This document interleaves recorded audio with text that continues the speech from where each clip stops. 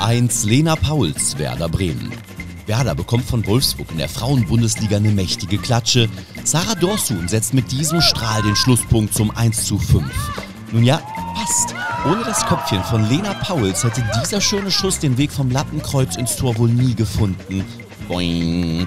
Was für ein Pech für Bremens Torfrau, die zuvor so oft so gut gehalten hatte. 2 Marco Schikora, FSV Zwickau. Rostocks Farona Polido ist in diesem Drittligaspiel nicht aufzuhalten. Doch, Zwick! Aua! Was macht Schikora da? Er spitzelt das rund ins eigene Gehäuse. So eine fürchterlich feine Flugkurve hätte selbst Andrea Pirlo nicht hinbekommen, wenn er gewollt hätte. Welch Tango mit der Physik. Tor 3 Patrick Korunkiewicz, Viktoria Köln.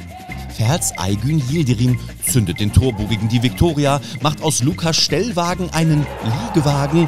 Yildirim schaut, hat das Auge und findet in der Mitte Korunkiewicz. Arg. Statt Klärung gibt's Eiersalat im eigenen Netz. Die dritte Liga bleibt eine Liga der Rätsel und dafür lieben wir sie so. 4 Uwe Hünemeyer SC Paderborn. Also Unions Lenz macht hier im Pokal alles andere als einen faulen äh, ackert, kriegt das Leder wieder zugesteckt und flankt hinein in Hünemeyers grazile Grätsche. Schön stramm streckt der Paderborner da seine Haxe hin und ungewollt wird er zum Vollstrecker. Sein Ärger war zum Glück nicht von langer Dauer. Am Ende änderte diese Kiste nichts am Paderborner Pokalerfolg gegen Berlin. 5 Luca Schnellbacher SV Elversberg.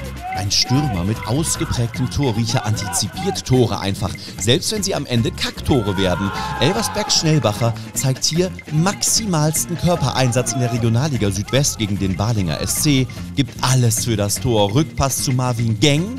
Beng! Wie die Kugel da an die Birne prasselt. Wir haben uns erkundigt, Schnellbacher bleibt zwar kurz benommen liegen, doch verletzt sich zum Glück nicht in dieser Szene. Inzwischen kann er sogar selbst über diese kuriose Kiste lachen. Hörten wir. Ente gut, alles gut.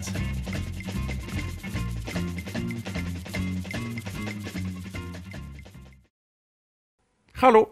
Kein Video mehr verpassen? Dann ihr klicken Abo, dann Abo.